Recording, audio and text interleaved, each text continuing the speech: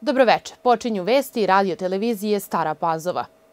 Pripadnici Ministarstva unutrašnjih poslova u Sremskoj Mitrovici u saradnji sa Upravom kriminalističke policije službom za suzbijanje kriminala zaplenili su tonu i 200 kg duvana u listu i u saradnji sa Poreskom policijom podneće krivičnu prijavu nadležnom tužilaštvu protiv 47-godišnjeg muškarca sa područja Pančeva osumnjičenog da je izvršio krivično delo nedozvoljen promet akciznih proizvoda.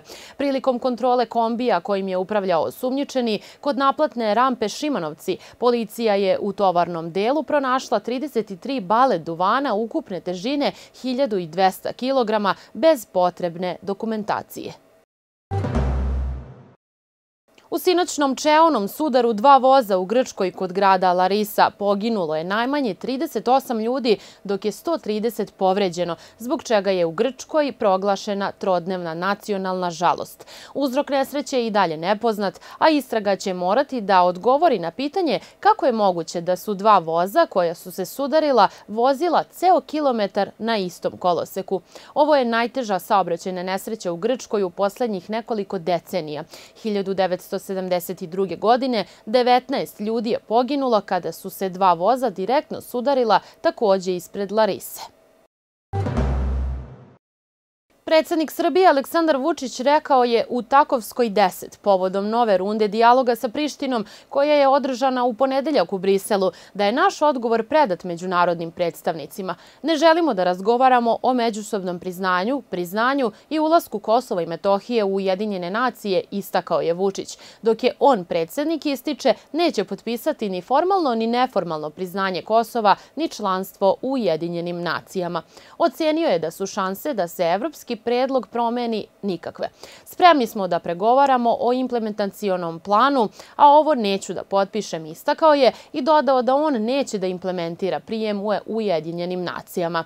Rekao je da bismo na tržištu euroobveznica mnogo bolje prošli da smo uveli sankcije, ali da neće zaboraviti 2015. godinu kada je lično zvao Putina da nam pomogne u Ujedinjenim nacijama.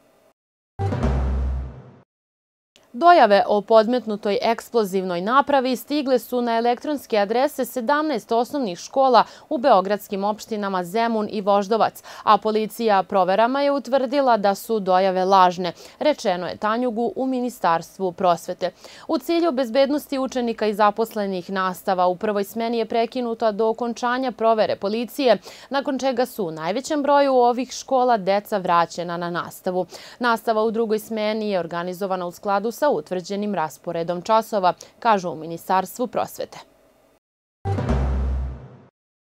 Ministarstvo za ljudska i manjinska prava i društveni dijalog podsjetilo je na važnost zaštite ljudskih prava i sloboda, podsticanje društvene jednakosti i prihvatanje različitosti kroz pravo svakog pojedinca na dostojanstven život.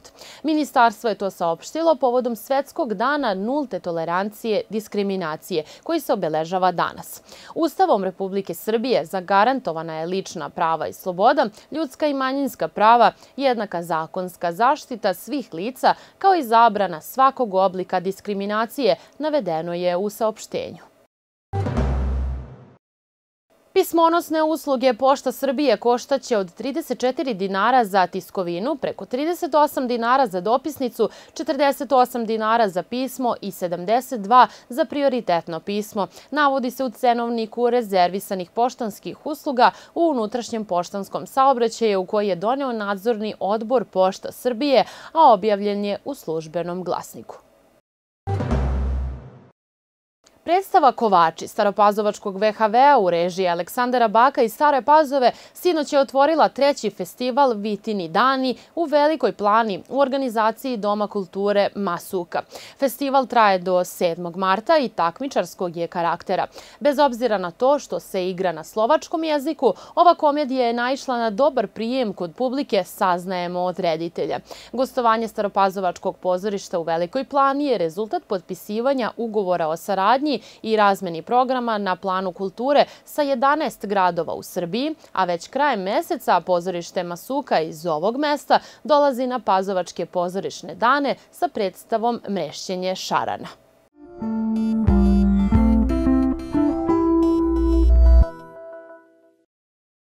Vreme sutra oblačno mestimično sa kišom na planinama i sa snegom. Vetar slab i umeren u Košavskom području pojačan jugoistočni. Najniža jutarnja temperatura od 1 do 6, najviša dnevna od 7 do 13 stepeni.